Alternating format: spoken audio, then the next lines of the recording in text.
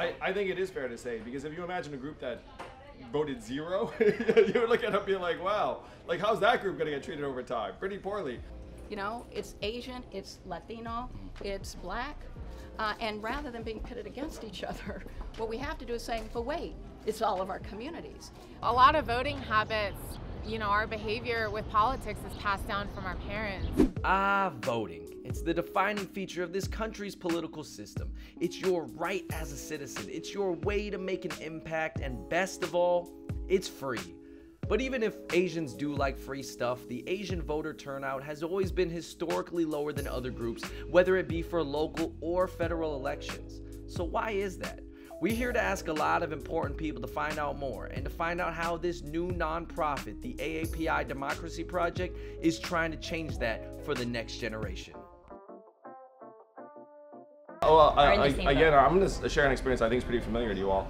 Like, son of immigrants, my parents never talked about American politics, and they certainly weren't like, you got to get out and vote, you got to volunteer, you got to run for office. Instead, it was like, keep your head down, get good grades, try and get a good job. It's one reason I love you guys because you already have taken, you know, uh, on a lot as creatives uh, in, in the community. When you know, I mean, your your parents probably are also like.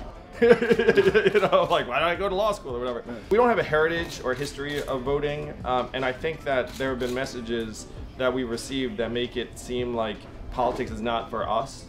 Um, but it's one reason why I really want to win this race is because I think if you had an Asian American mayor in New York City, it would be a game changer, not just here in New York, but around the country. I think a lot of it is having a lack of faith that it'll make a change or a difference for our communities, right? And there's just, I think, a lot of sense of it doesn't matter who I vote for because whoever I vote for won't really deliver.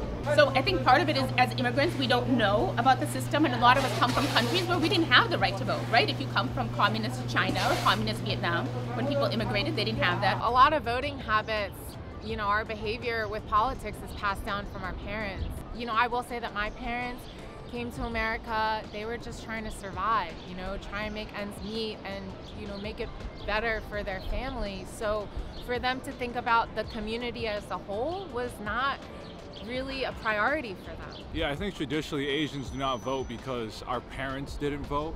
Uh, we don't actually think that the, the our vote actually counts. Uh, and traditionally, it's just not really cool to vote, right? Like, we don't have influencers, we don't have media, we don't have kind of our mentors or people older than us kind of educating us and telling us, hey, voting is important. It's going to impact your life. You should probably do it. I mean, you know, there are a lot of challenges, language barriers. You know, my mom has been in this country for 30 plus years and still doesn't speak any English.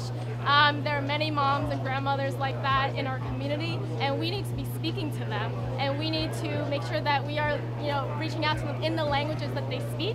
A lot of people were very upset by the video they had seen of my mom, whether it be from the doorman or the person that had attacked her himself. And a lot of people, when they expressed this frustration to me, said, What are you going to do?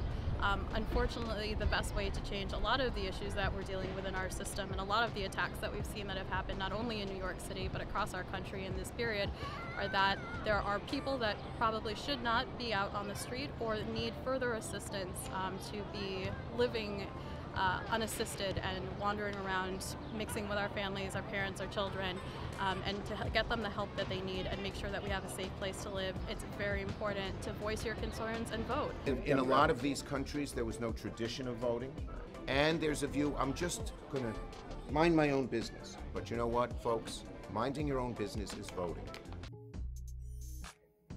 need to get out and vote for sure. And if Asian Americans voted at the level of our population in New York City, it would transform New York politics forever. I mean, I mean that, that, Right, that, right, that's right. a true statement. 15% of the population our community-based nonprofits get 1.5% of the public funds that go towards uh, different communities nonprofits. So that's out of whack. Anyone can see 50%, 1.5%. And as mayor, I've said that I'm going to treat all the communities the same.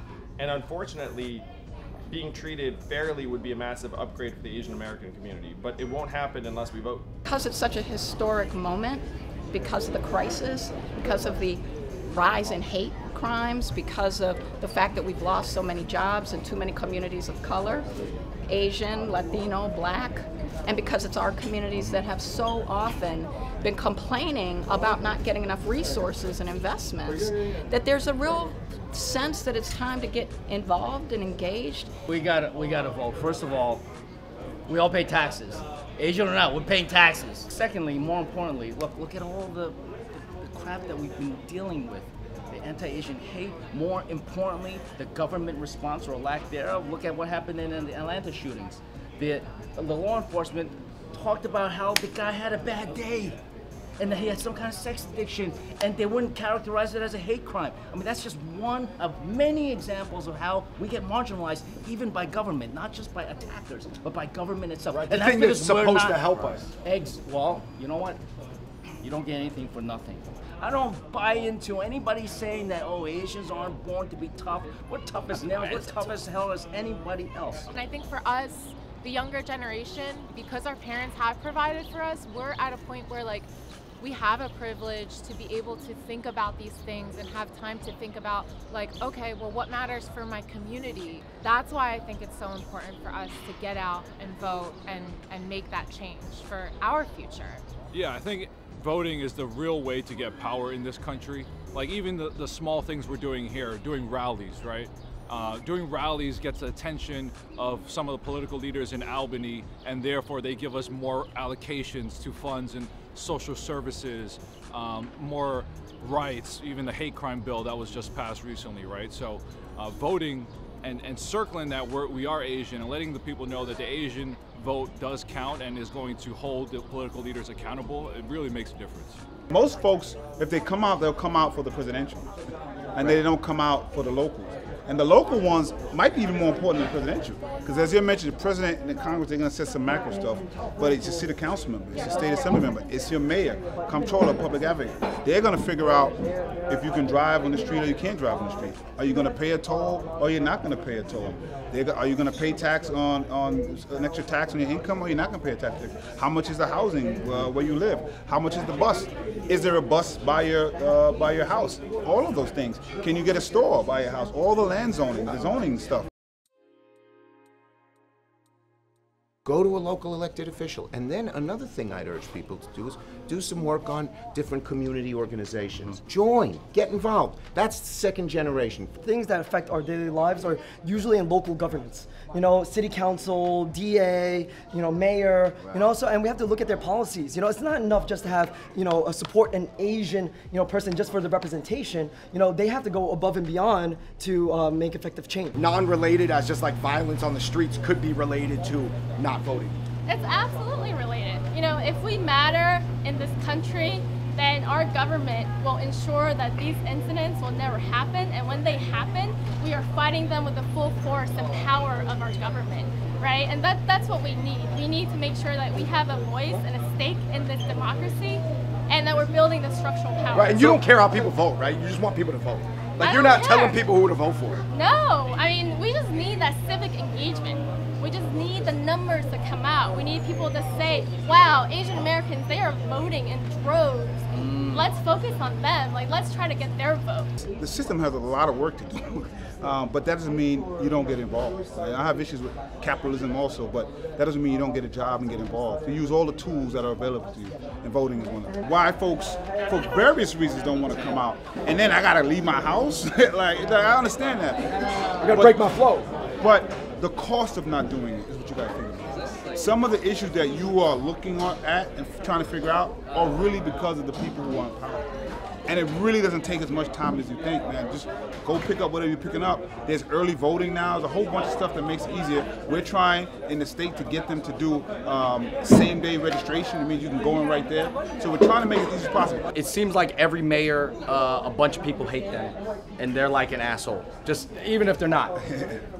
Is, is that is that true? Like that the next mayor is just gonna be an asshole, like to a bunch of people. Because they almost like inheriting like, Like a, a rusty bike. You know, there's no Yeah. good way to ride a rusty bike. Like it's just It's a terrible job.